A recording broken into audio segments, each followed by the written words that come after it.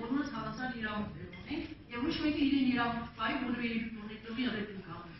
Դա կներեք, ինչ այլ։ Ես վերադառնամ պարոն Բաղաշյանի խոսքին։ Առաջարկ եղավ, արի առաջարկը, պարոն Բաղաշյանը իրավաբան, որ այսօրվա մեր նիստի քննարկման, այսինքն նիստը գումարելու օրակարգը իրավաբանական տեսակետից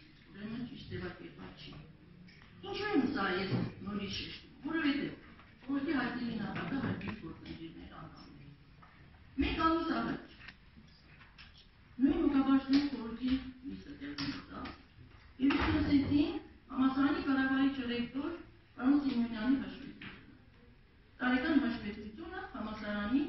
մեկ տարվա կտրվածքով դիտարկական գործունեության մասին։ Եղան հարցեր, քննարկումներ,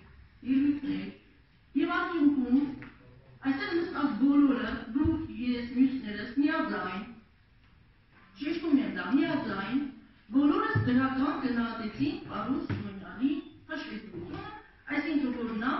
դրական է աշխատել, այսինքն աստունավետ աշխատանք է կատարվել մեկ տարվա կտրվածքով։ Եվ բոլորս կարծեցինք, որ արդեն մտնոլորտը բավականին հայտնի է, դրական է, եւ մենք կարող ենք անցնել հետագա աշխատանքի։ Եվ ուղիղ մեկ ամիս հետո ազատ դուրս ստանում ենք ծանոթում, որ պետք է արտահիշտ նիստ լինի ուղղաբաշխում խորհրդի, դրանք իրավունքը եւ նախագահ եւ խորհրդի անդամները ունեն առաջարկելու նիստ գումարելու